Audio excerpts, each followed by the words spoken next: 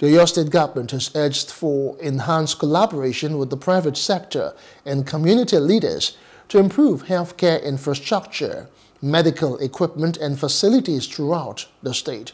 The chairman of the Oyo State Health Management Board, Dr. Akin Fagbemi, who spoke on behalf of the governor, Seyi Makinde, said this during the remodel and renovation ceremony of the General Hospital in Igbora, located in the Ibarapa Central Local Government Area.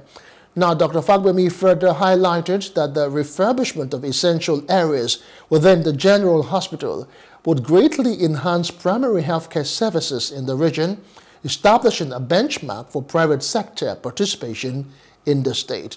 Now, Adegbeju Hussein Giwa, representing the Adedigba family, provided insight into the project inspiration referencing Islamic principles. This is what we have been looking forward to see where many Nigerians that will support the state, especially with regards to the health care of Oyo State. Uh, the Omitutu 2.0 of the second term of His Excellency pays a very great focus with regards to the health care of the state.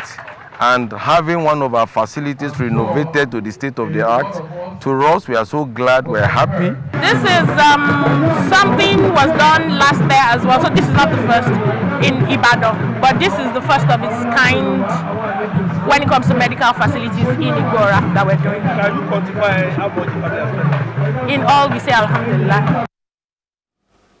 Hello, hope you enjoyed the news. Please do subscribe to our YouTube channel and don't forget to hit the notification button so you get notified about fresh news updates.